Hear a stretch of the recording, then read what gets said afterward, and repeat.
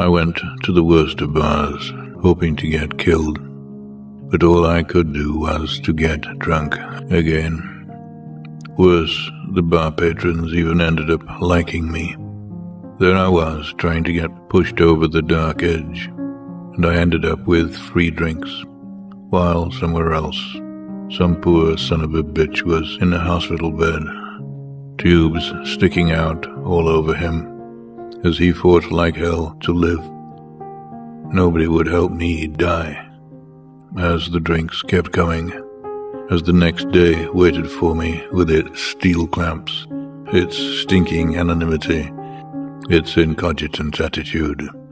Death doesn't always come running when you call it, not even if you call it from a shining castle, or from an ocean liner, or from the best bar on earth, or the worst.